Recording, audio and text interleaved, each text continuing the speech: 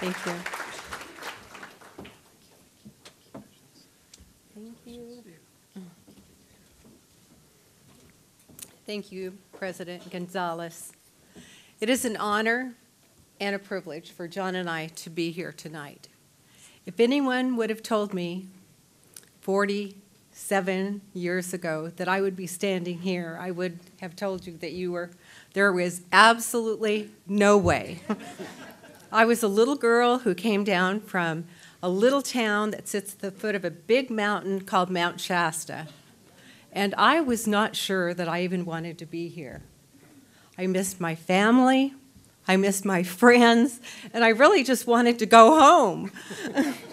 I did want to be a nurse, and that kept me here. And then I met friends like Carol Luther, now Anderson, who's here tonight, and other friends. And my teachers became like my mother.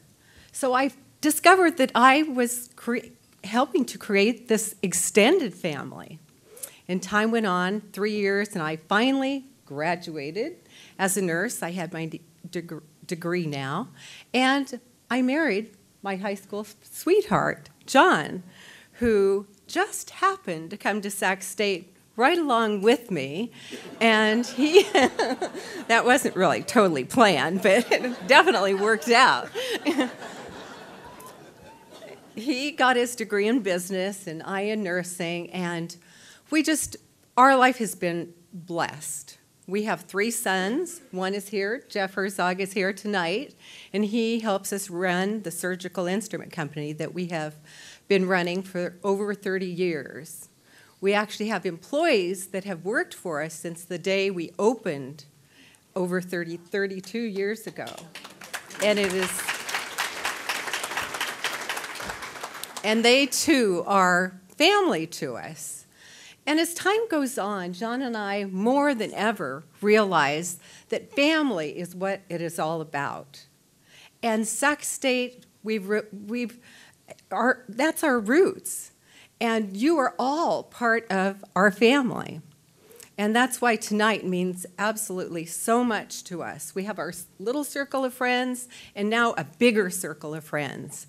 And we've come back, we toured. If any of you have not gone to the School of Nursing, you need to make an appointment. It is absolutely fabulous. I tell anyone and everyone that is even thinking of being a nurse to come and see that facility. It is absolutely state of the art, the best, I think, in the whole world. and also, they have the well. And I'm not going to tell you too much about it, but you need there's a climbing wall at the wall at the well, and I really think that John and I need to come back and try that.